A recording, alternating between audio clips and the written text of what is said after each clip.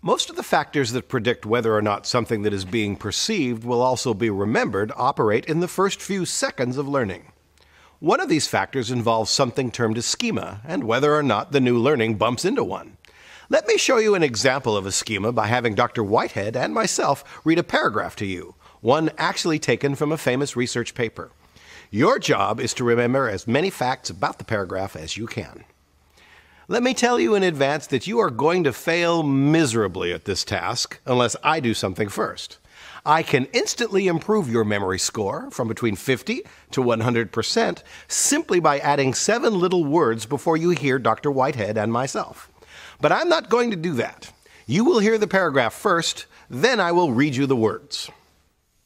The procedure is actually quite simple. First, you arrange things into different groups. Of course, one pile may be sufficient depending on how much there is to do. If you have to go somewhere else due to lack of facilities, that is the next step. Otherwise, you are pretty well set.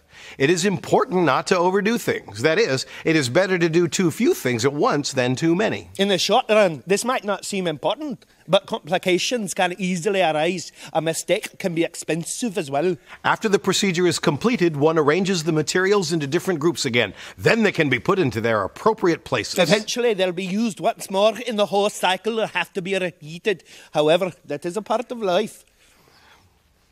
Did you get all that? No? Let us give you now the seven magic little words. This paragraph is all about washing clothes. What that sentence provides for you is a mental framework, a way of organizing thoughts around some aspect of the world. We call such frameworks schemas, and you have them about people, situations, objects. This means something profound. Prior knowledge can disturbingly shape how you memorize and retain for long term storage future knowledge.